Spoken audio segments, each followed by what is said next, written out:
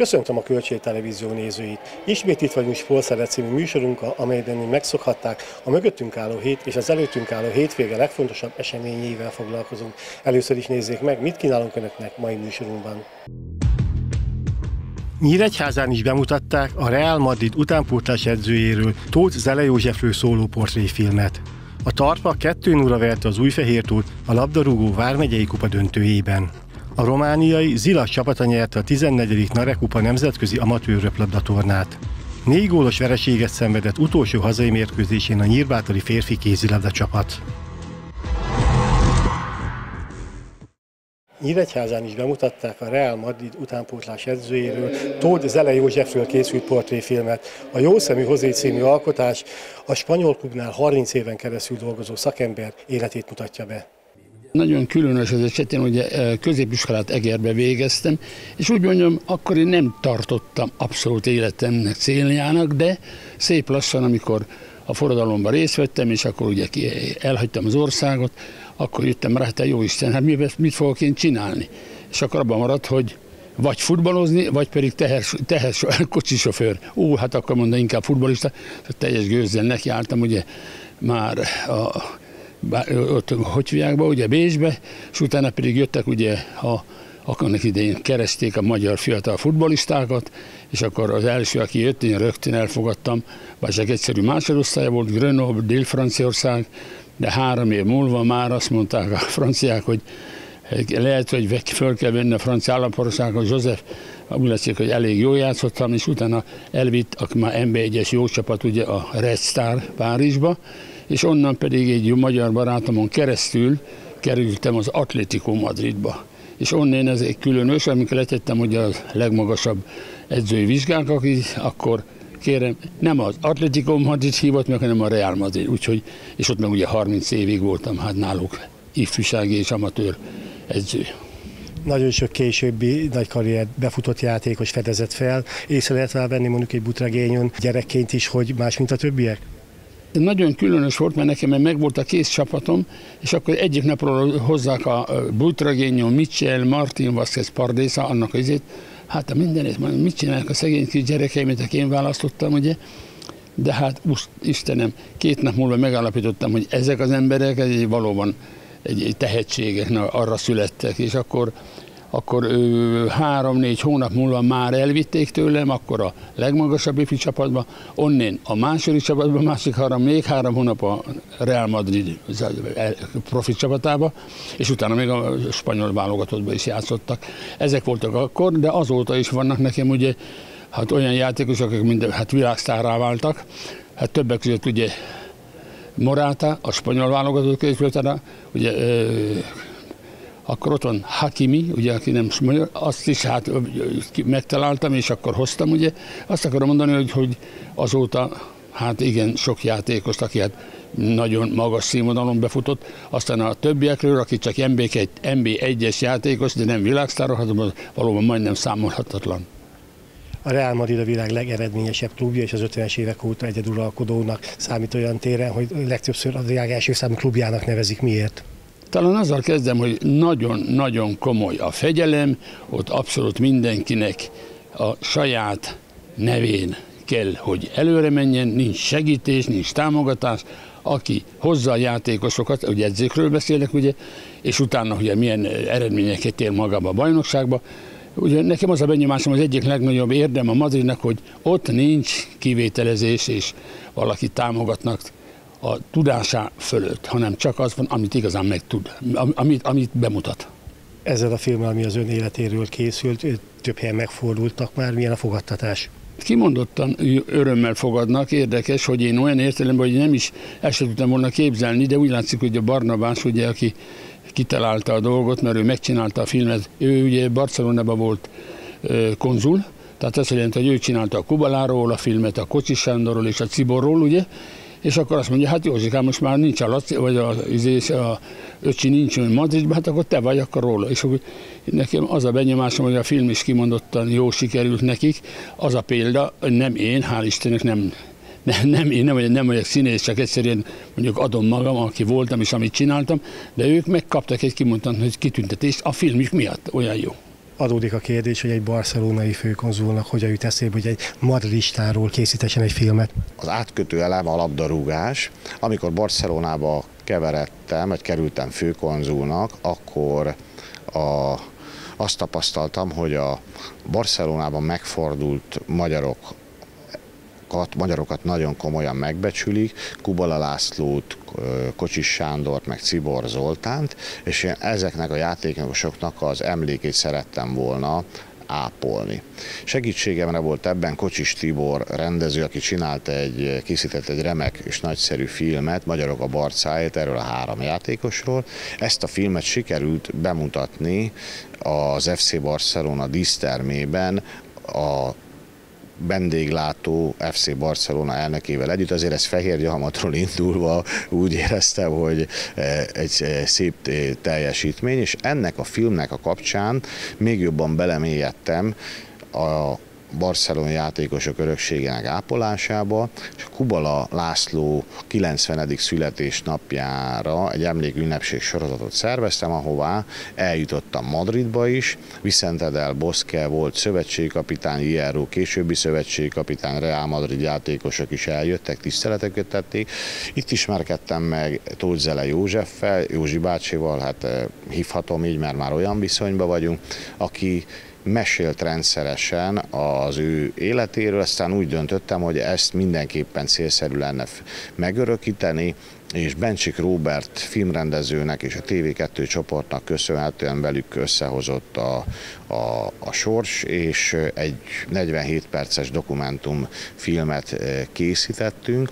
Most eh, ez a kérdés azért is jó, hogy ugye Barca, tehát nem tagadom, én Barcelona drukker vagyok, mm, tegnap is az FC Barcelona Real Sociedad mérkőzést volt szerencsém megnézni, ahol a Barcelona elnöke személyesen hívott meg a, az elnöki páholyba. Ennek ellenére úgy éreztem, hogy ez nem klubkérdés, hanem ez a magyar örökségnek a része, a magyar sporttörténetnek a része, hogy valaki a Real Madridnál ilyen eh, magas szintig eljut, ő gyerekekkel foglalkozott. Tehát ezért nem ismerik a nevét csak nagyon kevesen. Mindig azok a, az edzők, akik mm, pedagógusok, gyerekekkel foglalkoznak, valahogy háttérbe szorulnak, és ennek a filmnek egy olyan célja is volt, hogy igenis megmutassuk, hogy bizony, akik a gyerekekkel foglalkoznak, nagyobb tiszteletet, nagyobb figyelmet érdemelnek, és akkor ez a film a Bencsik Robert közreműködések köszönhetően elkészült, levetítettük, és szívesen megyünk oda, ahova hívnak. Az ősbemutatót egy fontosnak tartom megjegyezni, ami közönség találkozóval egybekötött személyes bemutató volt, az Nábrádon történt, nagymamám falujába, Fehérgyalmat mellett, ahol ha nem vagyok külföldön, meg éppen úton vagy Budapesten, akkor jó magam is ott lakok, és elég sokat előfordulok. A miért kérdés megelőlegem, miért Nábrádon? Azért, mert favágás közben ott jött a film gondolata. Van esetleg újabb gondolat, vagy esetleg már készül-e forgatókönyv valamilyen hasonló témában?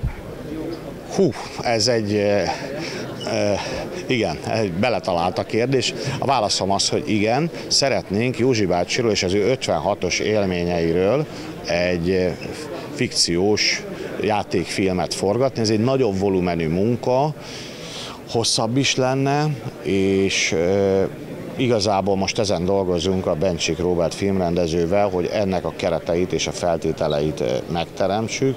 A mai film, ez kifejezetten az 56-os. A Jó Szemű Hozé című film az Józsi bácsinak a labdarúgáshoz kötődő élményeiről és az életének ezen részéről, a másik az inkább az 56-os, meg egy kortörténet, hogy az a korszak, amiben ő élt, hogyan nézett ki, miért kellett neki elmenekülnie, és, és azt szeretnénk majd eh, vászonra vinni.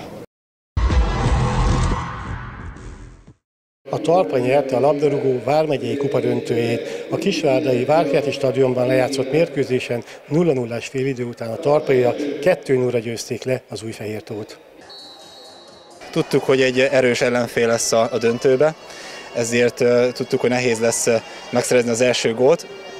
Ez így is volt, középen folyt a labda, voltak az első félidőben is lehetőségeink, sajnos nem sikerült berugni a helyzeteket, aztán éreztük a másfél idő végére már addig-addig fogunk menni, hogy egyszer ez össze fog jönni, úgyhogy hál' Istennek ez sikerült is. Lehet ilyet kérdezni, hogy melyik volt a nehezebb győzelme a tavalyi vagy a mostani?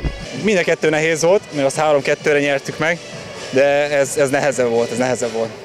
A bajnokságban az élen áll a Tarpa, két forduló van még hátra, gondolom most már nem szeretnétek lecsúszni az első helyről. Így van, szeretnénk duplázni a felnőtt csapatta, két forduló maradt hátra, és szeretnénk az első helyen maradni, illetve az U19-es csapatunk magyar kupát játszik Telkiben, a Győri Eto ellen, úgyhogy ezek a fiatal srácok, akik a csapattársaim, akár triplázhatnak is.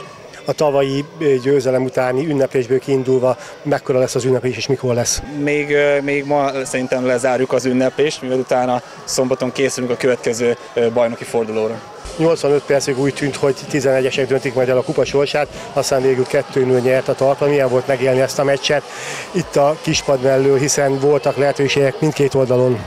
Elsősorban gratulálni szeretnék a csapatomat, mert amit meg tudtak, megtettek a pályán.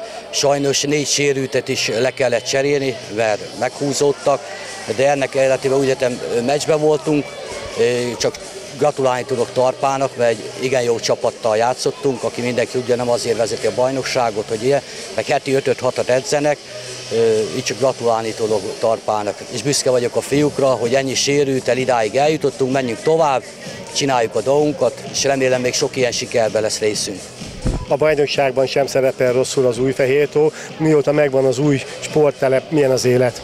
Próbálunk fejlődni, fejleszteni még, de attól függetlenül egy, mindig egy top csapatok voltunk, azért mióta én tíz éve itt vagyok, azért mindig az élbajban vagyunk. Építkezünk tovább, csináljuk tovább a munkánkat, és szeretnénk helytállni a megye egybe a kupadöntőhöz méltó helyszínen, a kupadöntőhöz méltó hangulatban ért véget ez a döntő. Te hogyan láttad?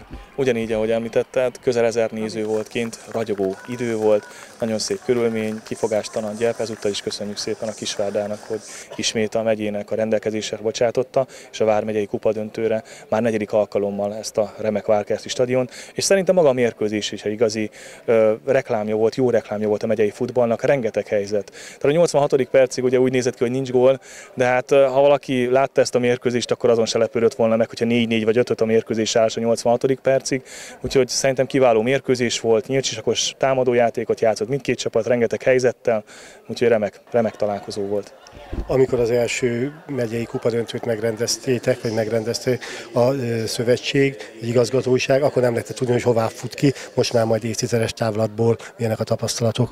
Azt mondom, rendkívül pozitív. Tehát ezt már ugye Nyíregyházán kezdtük el, ez a nyolcadik alkalom, négy alkalommal volt Nyíregyházán a Város stadionban, most itt van negyedik alkalommal, és nyugodtan mondhatom az évről évre, hogy remek színvonalú találkozót hoz. Mindig mind a két fél nagyon várja. Ugye a legtöbb játékosnak, legtöbb amatőr játékosnak, akár ugye az egykori Nyíregyházi Város stadionban, vagy itt most a Várkázi stadionba pályára lépni, az az élete addigi legszebb élménye, és lehet, hogy a pályafutás a legnagyobb élménye is lesz. Úgyhogy mindenki várja, örömmel jönnek, itt látjuk azért igen nagy a teher itt a szezon vége fele, ugye nálunk azért a megyei első osztály bajnokságban igen szoros a küzdelem, mindkét csapat szerintem már azért várja a végét, két forduló van hátra, de mégis összedrótozzák magukat, eljönnek hétköznap, és játszanak egy fantasztikus meccset. Úgyhogy nyugodtan mondhatom, hogy amikor belevágtunk, nem gondoltuk volna, hogy ilyen jó lesz ennek a fogadtatása, de én azt veszem észre, hogy nagyon pozitív ennek az egésznek a fogadtatása.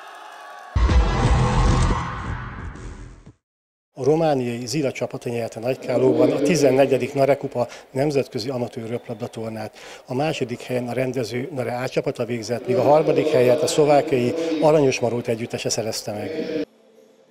Játszottunk egymással, a barátokkal, a szakközépiskolának a csapatával, tanárokkal. Ők mindig mondták, hogy jó lenne alakítani valami komolyabb dolgot. Tudta az, hogy Bajnokságra nem nevezünk be, mert egy bajnokságra az het, heti négy edzés, minden hétvége foglalt, és mindenki már családos. Viszont egy amatőr csapatot elképzeltünk magunknak, és úgy is indult meg, heti egy-két alkalommal edzettünk, 12-en, 16-an, 20 a mai nap 44 tagja van a NARÉnak, a Nagykai Roplata Sportegyesületnek, ennek több mint 20 tagja ifjúsági, a többiek felnőttek. A felnőttek, én vagyok a messze a legidősebb, a legfiatalabb a felnőttek 19. éves. Férfiak, nők, volt mikor volt komplett női csapatunk két tartalékkal is, utána inkább a férfi és inkább a vegyes csapatok. Most már azt kezdik figyelni, hogy a veles, hogy játszanak a lányok is. Próbálkoztunk megyei bajnokságot nők között, sehol nincsen hat nő. kettő-három. Ezért a mai versenyünk is két lány kötelező a pályán. Úgy vettük észre, hogy az egész világon kitekintenek a strandröplabdára. Hát mi is kitekintettünk. Volt egy pályánk, lett kettő. Három évvel ezelőtt azt mondtam, hogy legyen négy, hagyjuk már. Hát mi, mi hát nem szebb a négy, mint kettő. Meg is csináltak, most már van egy strandröplabda centrum, én úgy hívjam. Azt jelenti, hogy el tudunk hívni akár 20 csapatot is. Azért az, azért az komoly dolog. Soha nem tartunk magyar versenyeket, mindig nemzetközi. Ugye, ha veszük a mai napot, ha hozzáköthetem, mai napon itt hat országnak vannak a csapatai, magyarból három, a többiek külföldiek. A szlovákok, románok, csehek, ukránok, lengyelek, és kitekintünk Ausztria fele is, de mindig azt mondják, hogy nagyon messze van. Ez is igaz. Olyan csapatokat hívunk meg, mi mindig meghívunk csapatokat. Nem fogadunk el külsősöket, ha nem ismerjük. Nekünk a minőségi, amatőr minőségi játékosok kellenek, akiktől lehet tanulni valamit. Nem egyszer hangzik is, hogy te azok a csehek olyan jól csinálták azt. Látod a román, hogy üti. És akkor ez, ez egy óriási iskola, tan, egymásról való tanulás. Ugye most a lapoknál négy diákon van, majd nyolc játékos lesz itt. Mondtam, hogy folyton figyeljétek, hogy miket csinálnak ezek a nagy bácsik. Olyan csapat, mint a Nare, a megyében több nincs, ez biztos. Nekünk van egy nagyon jó, bevezettük, mindenkit a világon befogadunk. Pampuk Csaba, aki most másodedzője a, a volt országos bajnok női csapatnak, nálunk játszott három évig. Még nem akarta abba a játékot, lejött azt, hogy mit csináltak itt. Ez érdekes. És végül mind csüngtünk az ajkai, miket mondott, mint válogatott, miket látott, merre volt. Ugyanakkor sose felejtünk el egy eseményt, mikor meghívtak bennünket Lengyelországba, és mondtam neki, hogy Csabi, te nem fogsz tudni jönni. Hát minek? Azt mondták, hogy nagyon erős volt. Azt mondja, szombaton nem aludtam, csak sírtam. Na, ez az ő szavai. Ez azt jelenti, hogy nálunk játszott majdnem három évig Hubicska Patrik. Ő most meg, megnyerték az országos bajnokságot, az országos kupát megnyerték a labdába, és utána nem mi neveltük, de nálunk játszott sokat. Van még egy játékosunk, a név nem fontos, aki szintén játszik Debrecenben az NB1-es csapatban, és a fiatalok meg most egyik nagy vágyunk, hogy nem tudnánk ezekből a lányokból, a 10-12 kislányból összehozni egy nagykálói röplabda csapatot nőit. Hát ha, ha itt laknak, itt tanulnak, lehet, hogy vissza is jönnek ide. Ugye általában én mindig mondom, hogy általában a tanárok, a, a női tanárok azok általában a főiskolák, egyetemeken a röplabdál, vagy teniszeznek, vagy röplabdáznak. Hát ha visszajön ide tanítani, akkor miért ne lehetne belőle röplabdás? Ugye lehetne válogatni, hogy csak beajánlottuk a kislányunkat egy nagy csapatba, azt mondta az edzőnő, ha van 178 centi magas jöhet, kisebb, kisebbet ne küldjél. Na hát azt én nem mondhatom meg, akinek van kedve, az jár hozzám az edzése. Ha elment a kedve, mit tudom én, más sportágat választ, akkor elmegy. Mi szívesen fogadjuk őket, néha 10 vannak, néha 24-en, akkor majd megbolondulok, hogy mit csinálják 24-el, de azért mindig megoldjuk, megoldjuk még valahogy. Én szerintem ez a sportág itt már egy ideig meg fog maradni. Rettentesen sok időt veszel tőlem, ez biztos. Viszont a, a felnőtt játékosok most már próbálunk hetente kétszer járni edzésre. Nagyon nagy szerencsénk van azzal, hogy a Kálai Rudolf szakiskola szívesen adja a tornatermét, nem kérte semmit, és ad felnőtt játékosokat is. Mondták, hogy hát nem nagyon menni, mert Józsi bácsi maguk nagyon tudnak. Úgy kezdtünk, mint ti. És most már, aki ott játszik a B csapat, annak a fele a Kálai Rudolf játékosai, akik még egy évvel ezelőtt nem mertek volna kiállni játszani, most már kimernek el játszani. Ezeket szerintem ez egy olyan eredmény, ami kifele is mutat, hogy más is próbálkozhat hozzánk jönni. Mindenki fele nyitott, vagy nem mindenki kálói, van nyíregyházi környező települősökről egy-két játékos mindig bejön, de Ha tetszik neki, tetszik, hanem akkor én többet nem jövök. Hogy nem is szól semmit, nem jön egyszerűen, hát akkor nem lesz. Akkor vagyunk bajban, mondom, mikor eljön 20 játékos, akkor ugye 12 játszhat, akkor dörbegünk, hogy én nem leszek tartalékos, akkor ne gyere. Máskor meg én voltam tartalékos. Egy tíz csapatos nemzetközi röpladatorna van itt Nagykálói sportcsarnokban. A házigazda egyesület két csapata beszéljünk egy picit rólatok, mikor alakultatok, milyen formában üzítek ezt a sportágat. 14 évvel ezelőtt alakult a Nara Röplabda Klub. Én még akkor nem szerepeltem, mint játékos itt. Az alapító helyi játékosokból, teljesen amatőr játékosokból alakult az Egyesület. Azóta régi nyíregyházi játékosokból ö, csatlakoztunk az Egyesülethez, és így kiegészülve alkotjuk a Nagy Nare, Nagy Nare családot. Most mennyien vagytok, és ha jól tudom, akkor versenyrendszerben nem röplabdáztok. Milyen alkalmakkor lehet pályára lépni? Szerencsére egyre többen vagyunk edzéseken, és már a 20 fő sem ritka heti rendszerességgel.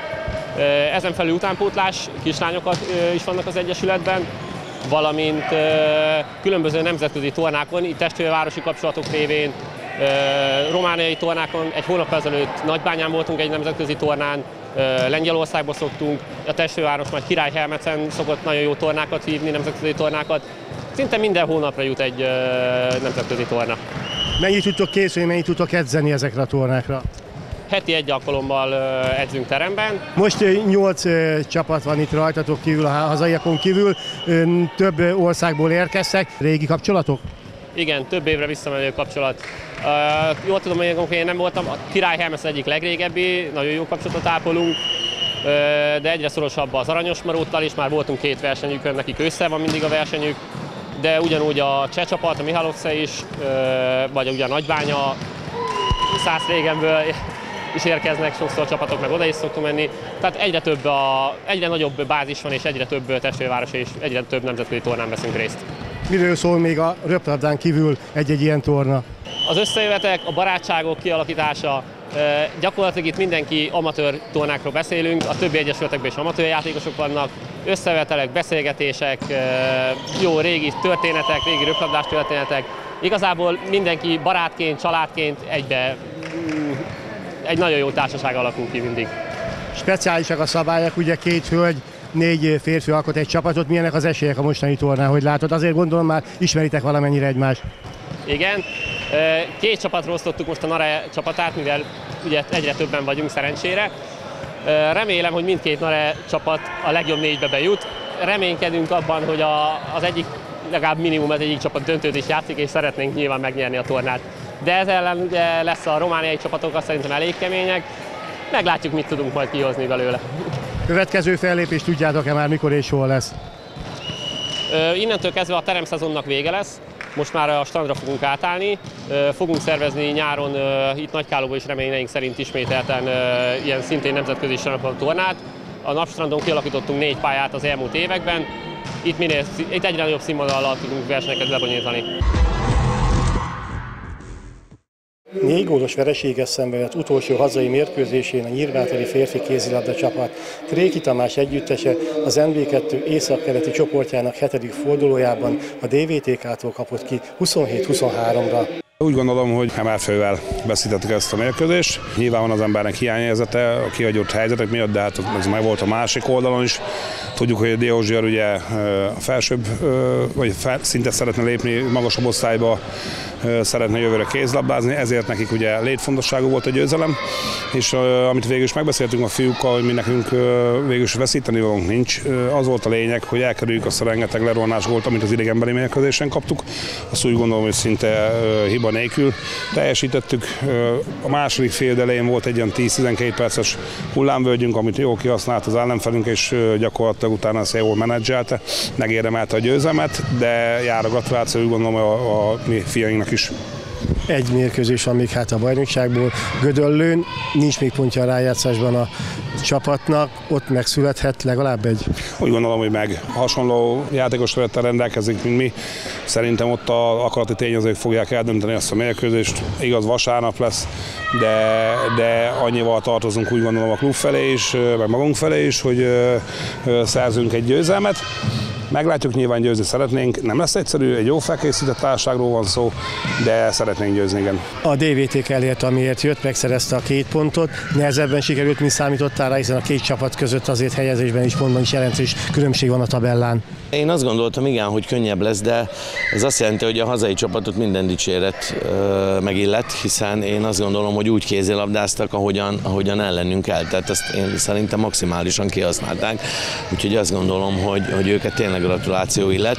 Hát mi már valahogy itt az első fél időben azt gondolom, hogy mondtam a srácoknak, hogy ez magától nem fog megoldódni, tenni kell értés. Hát a második fél idő elején azért hál' Istennek sikerült egy olyan különbséget kialakítani, amit azért meg tudtunk tartani a végéig úgy, hogy mindenki pályára tudott lépni. Uh, én, én még egyszer mondom, hazai csapatnak gratuláció, az enyémnek annyi, hogy egy van hátra ahhoz, hogy elérjük a céljainkat, tehát nyilván ilyenkor már azt gondolom minden lépés nehéz, azért eddig a felsőházi mérkőzéseinket nagy különbséggel tudtuk megnyerni, ez, ez az egy ilyen uh, kivétel van, ez ma nagyon döcögős a sikeredet, lehet, hogy az az oka, hogy múlt héten nem volt mérkőzés, és nem raktam a programba edzőmérkőzést, ez lehet, hogy valahol, a, valahol az én hibám is, de ma közel sem voltunk olyan élesek, mint szoktunk lenni. Ettől függetlenül azt gondolom, hogy a győzelmet nem kell megmagyarázni, tehát a céljainkat, vagy a célunkat az idejövetelünkkel elértük, tehát eh, győzelmet tudtunk aratni, és ugye már egy mérkőzés van hátra csak nehezebb egy olyan csapat ellen meccselni, akkor szinte mindenkit ismersz, akivel bajnokságot nyertél, és azért gondolom ilyenkor a ellenfél játékos is benne van, hogy megmutatjuk a volt edzőknek, hogy azért nem felejtettünk el kézilabdázni. Igen, hát tavaly, tavaly így jártunk ugye, amikor uh, ide jöttünk és vereséget szenvedtünk, én akkor nagyon olyan értelemben büszke voltam, hogy dolgoztam a srácokkal, mert én is azt éreztem, és utána el is mondták, hogy ők meg akarták mutatni azt, hogy nem kellett volna őket idézőjelbe téve itt hagynom. Én ezekre mindig büszke vagyok, hogyha a srácok motiváltak az irányomba, és meg akarják mutatni, hogy ők igenis jók. Ez akár legyen edző kollega, vagy edző tanítvány, vagy játékos, én erre mindig büszke vagyok, mert sportolónak ez a dolga, ettől nem nemes ez a dolog. Úgyhogy igen, igen, igen, örültem, a srácok tényleg mindent megtettek, még egyszer meg kell, hogy dicsérjem őket. Ide mindig nagyon-nagyon jó szívvel jövök, úgyhogy jó érzés volt, így meg különösen, hogy, hogy sikerült nyernünk. Ennyi fért a mai sportszeretben, köszönjük a figyelmüket, találkozunk egy hét múlva a viszontlátásra.